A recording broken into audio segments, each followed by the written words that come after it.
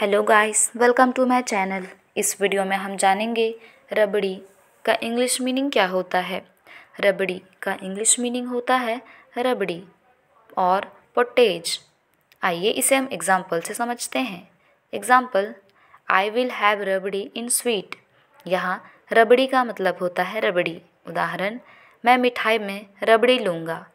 इसी के साथ इस वीडियो में बस इतना ही। Thank you so much for watching my video